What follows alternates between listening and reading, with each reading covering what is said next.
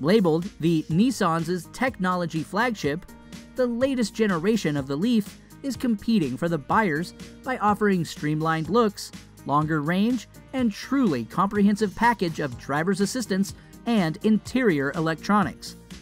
This EV comes in two battery options 40 and 62 kilowatt hours with 150 and 226 miles respectively.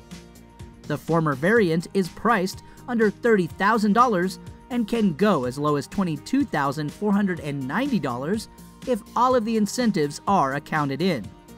For the money, you will get a fully smartphone connected EV powered by a 147 horsepower motor. It rides on 16 inch wheels and benefits from e pedal technology that lets you abandon the brake pedal and take advantage of battery recuperation.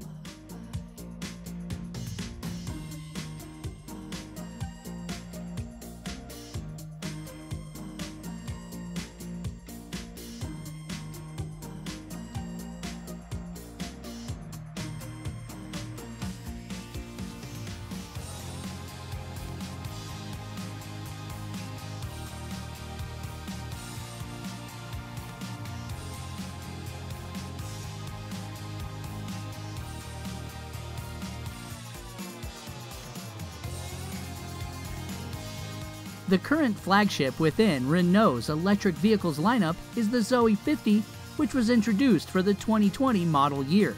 However, the most appealing model to the average consumer is the recently discounted 41 kilowatt hour unit, which is priced as low as 28,500 euros. There is also an option to pay even less if you are okay with leasing the battery for just 60 euros a month instead of paying the full 7000 premium for its ownership. The French EV has clean styling, comes in two trims, gets a humble 107 horsepower motor, and can cover up to 218 miles on a charge, making it one of the best selling commuters within Europe.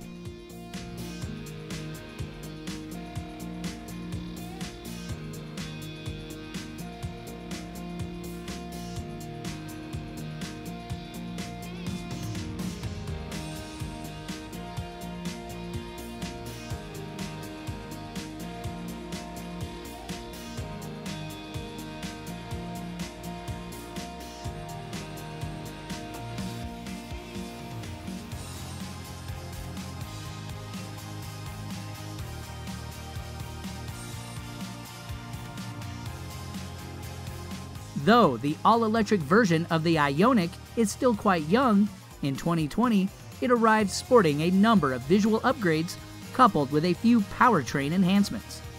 On the outside, the new design headlights, DRLs, and 16 inch wheels are now available. While the cabin updates focus on the restyled dashboard, new touch controls for the heating and air conditioning, plus the improved 7 inch infotainment. Chasing more range, the 2020 Ioniq gets a 38 kilowatt hour battery, representing a 36% increase in capacity, which should translate to around 160 miles of driving. It also comes with a more powerful motor, making 136 instead of 120 horses.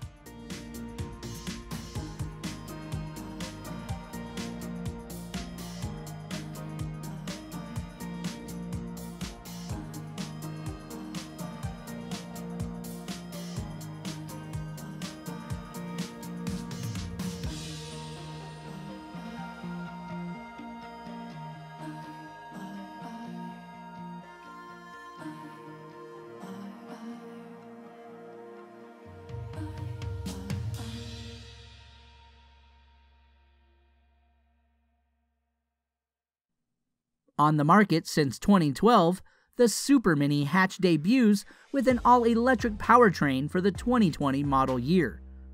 The car is built on the new common modular platform from the group PSA, which can be used for both electrified and ICE vehicles.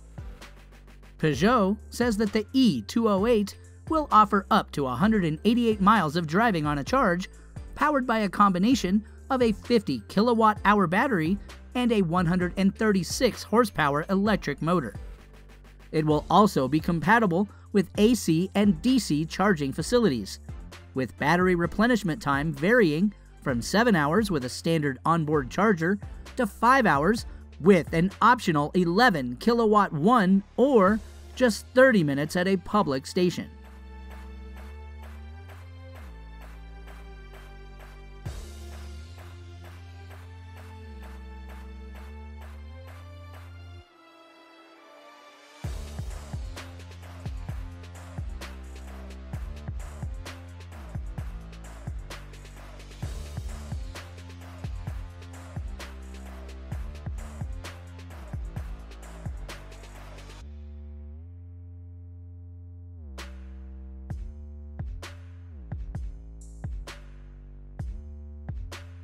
The market of EVs in China is the fastest growing on our planet, with 1.2 million units of plug in vehicles sold in 2018.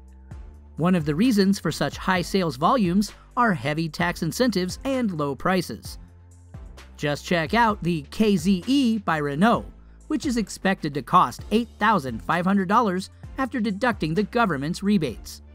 This subcompact crossover shall be able to cover 110 miles on a charge, and regardless of the beyond affordable price tag, will get a rear view camera, small infotainment with navigation, and fast charging capability. The release is planned for the 2021 in China, while the European sales prospects have not been announced yet.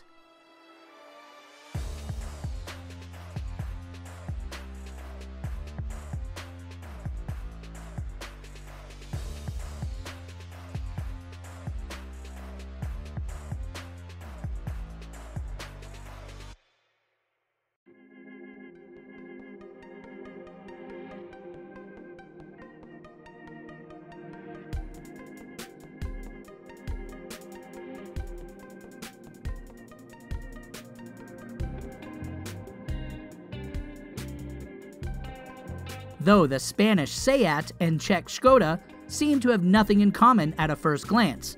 Currently, both companies are owned and operated by the Volkswagen Group. So, no wonder the brands' has recently revealed all electric projects, Mii and Citigo, share their platforms and technologies. The cars' drivetrain setup includes an 83 horsepower electric motor juiced by a 36.8 kilowatt hour battery. The tiny hatchbacks promise up to 145 miles of range and can be recharged in 60 minutes using a 40 kilowatt fast charger. Design wise, both models follow in the footsteps of their gasoline siblings and, surprisingly, even match them in boot and passenger space.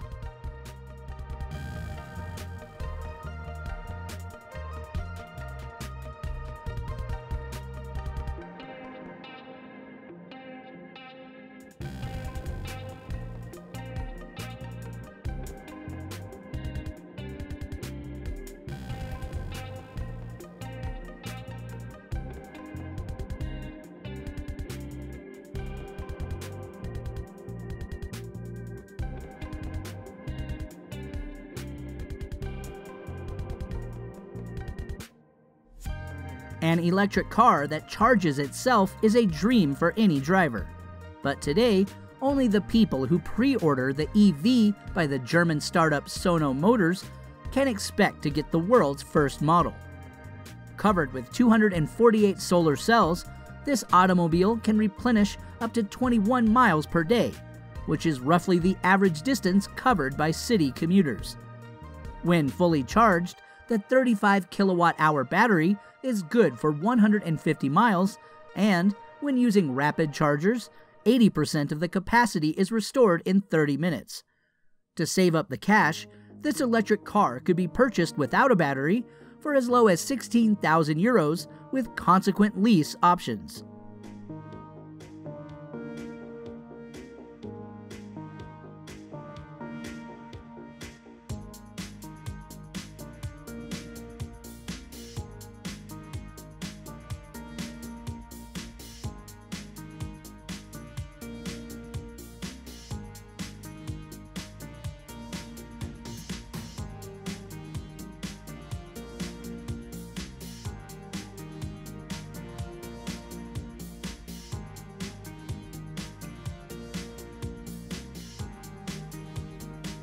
Expected to come to the U.S. shores in early 2020, this subcompact crossover is often considered one of the most anticipated electric cars of the year.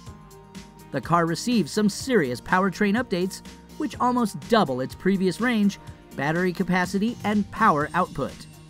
The new Generation Electric Soul features a 200 horsepower motor paired to a liquid cooled 64 kilowatt hour battery pack that supports level 3 DC fast charging. With this powertrain and upgraded 4 mode regenerative braking system, this Kia should be good to travel for 243 miles. It also demonstrates much improved acceleration and performance, sprinting from 0 to 60 in 7.2 instead of 11.2 seconds.